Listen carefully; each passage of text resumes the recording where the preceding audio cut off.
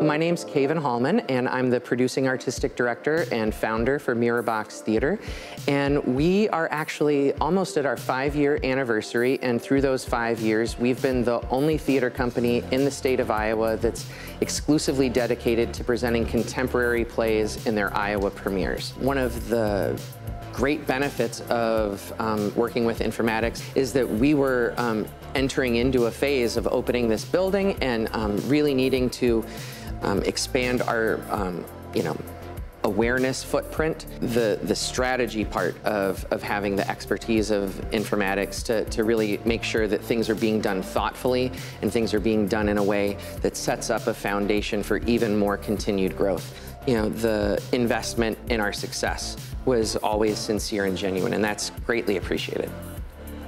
I think if someone is on the fence about whether or not to work with informatics, I think a huge difference maker is really that you can trust that that when things come up, because they always come up, that that informatics either has experience finding that solution or has the resources and experience, um, you know, to to seek out that solution and, and make it happen.